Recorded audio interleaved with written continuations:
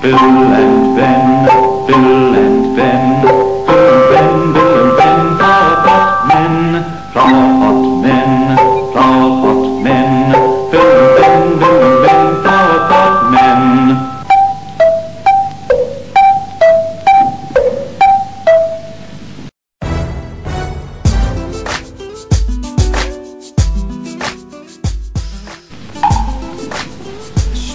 Once upon a time, there was a little house.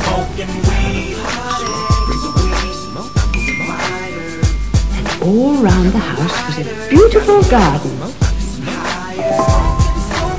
Jumped out my bed, head downstairs, wipe the out my eyes, put some braids in my hair, grab my favorite toothbrush and then some press, rinse my mouth And down at the bottom of the garden was a place where the man who worked in the garden left his things boss dog, so while he went into the house to have his dinner.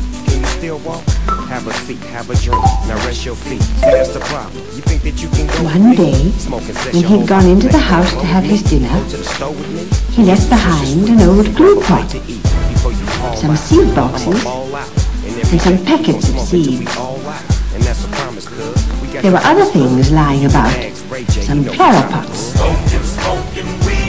two little ones, two middle-sized ones, we got plenty that. We keep doing that. and two great big ones. And just behind the big flower pots was a little weed.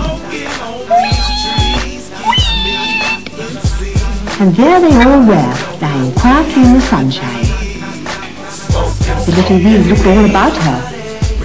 And when she saw that everything was quiet, she knocked gently on the two big flower pots and said,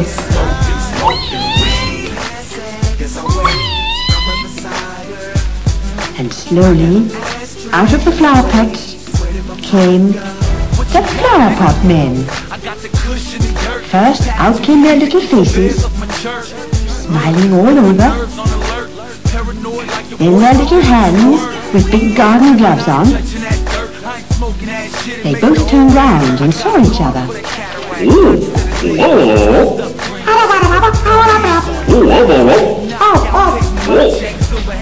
Then they said hello to the little weed in their flower pot way of talking.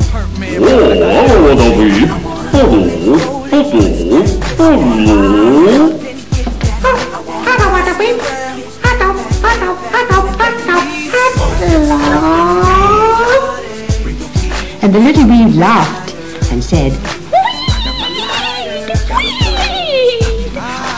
And the flower pot men thought she meant that someone was coming.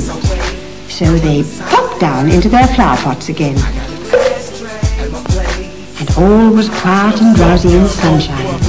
And the little weed stayed in between the flower pots and said nothing. Goodbye, Bill.